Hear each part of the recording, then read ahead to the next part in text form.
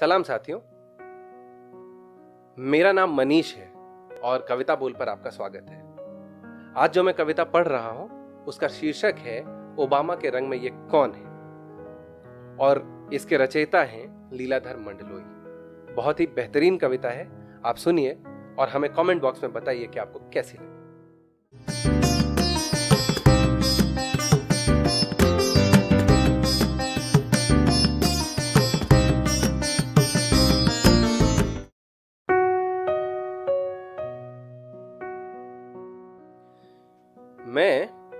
पढ़ा लिखा होने के गर्व से प्रदूषित हूँ। मैं महानगर के जीवन का आदि एक ऐसी वस्तु में तब्दील हो गया हूँ कि भूल बैठा अच्छाई के सबक। मेरा ईमान नहीं चीन पाता उन गुणों और व्यवहार को, जो आदिवासियों की जीवन पद्धति में शुमार मौलिक और प्राकृतिक अमरता है।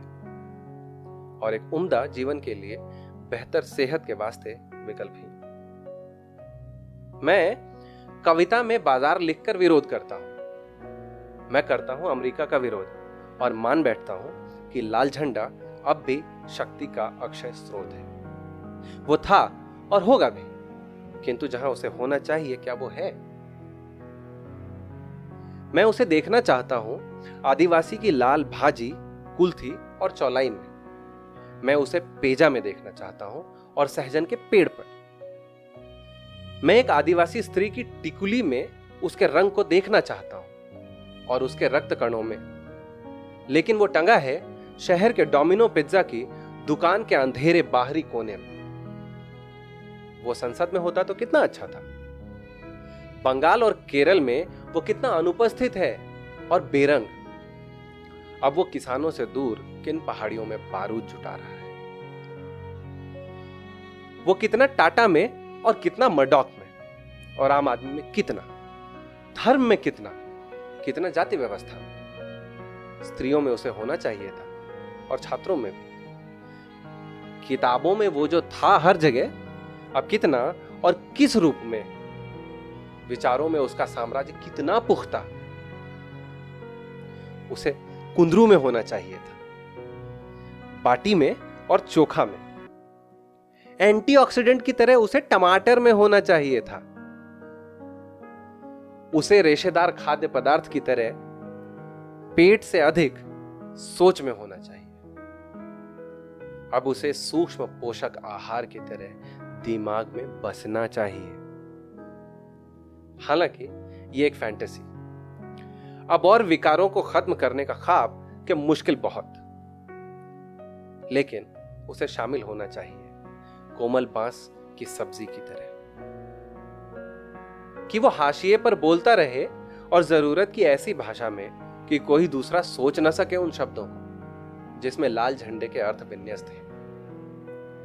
रोज़मर्रा के जीवन में शामिल रोटी, दाल और पानी की तरह उसकी व्याप्ति के बिना उस गहराई की कल्पना कठिन, जो लाल विचार की आत्मा है। महानगर के अंधी दिशाओं में एक अंतिम और साझे विकल्प के लिए मैं अब भी बस सोचता हूँ। मेरी इस सोच में पार्टी की सोच कहाँ? कहाँ बुद्धिजीवियों की सहभागिता और कामरेडों की यथार्थ शिरकत? दिल से सोचने के परिणाम में दिमाग को भूल बैठे सब और डूब गए उन महानगरों में, जिन पर कब्जा अमेरिका का। मैं अब भी लाल भाजी और कुंदरू के समर्थन में ठहरा हुआ।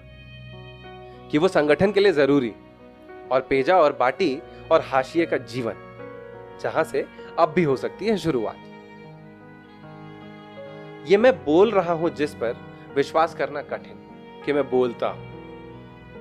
तो अपनी छोटी और बिकी ज़मीन पर खड़ा होकर और वो तमाम उन लोगों की जो न्याय के लिए अपने तरीके से लड़ रहे हैं और उनके पास नहीं कोई मेधा और महाश्वेता। उनके पास है, उनका भरोसा, कर्म और लड़ाई। मैं मैं वहीं पहुंचकर एक लाल झंडे को उठाकर कहना चाहता हूँ कि, पार्टनर, मैं भटकाव के बावजूद तुम्हारे साथ हूँ, कि मैं महानगर में किंतु आत्मा के साथ वहाँ, जहाँ अब भी सुगंध है हाशिए के समाज की, संघर्ष की। कि मैं कुछ नहीं, संघर्ष का एक कण मात्र। विचार जहाँ अपने लाल होने की प्रक्रिया में है और उनकी दिशा वहाँ है, जो महानगर का वो अंधेरा कोना नहीं, जहाँ लाल झंडा डोमिनो के पास जबरन टांग दिया गया है। ओबामा के रंग में ये कौन है? मैं उसके खिलाफ शुक्रिया।